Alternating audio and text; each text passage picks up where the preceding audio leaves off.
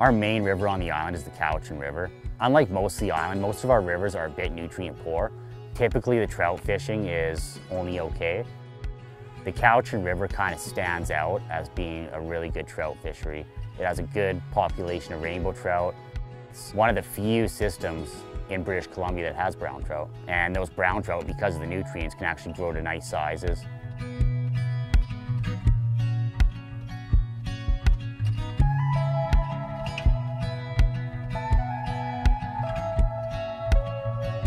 Vancouver Island is just a beautiful place in general. 12 months a year we can be out on the water fishing for some sort of species, whether it's trout, winter steelhead, uh, various species of salmon. There's always something to fish for. When you take somebody out fishing and you get them on to fish, it's as exciting, sometimes even more exciting than when you get on fish.